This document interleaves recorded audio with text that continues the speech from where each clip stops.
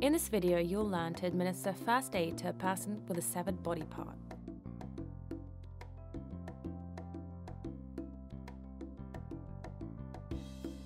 Put on gloves if available.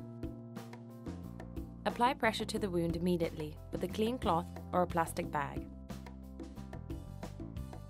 Lay the casualty on their back to avoid worsening their condition.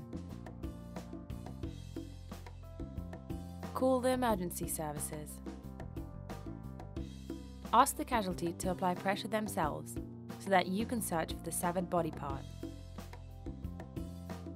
If they're unable to do so, you should apply a pressure dressing with a cloth and a wide tie. Recover the severed limb, wrap it in a clean piece of cloth and put it in a plastic bag on ice.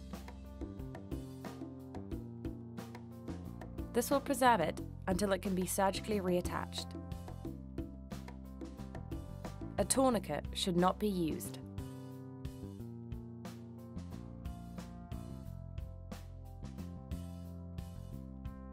If it is not properly applied, there is a risk of causing serious complications, including amputation.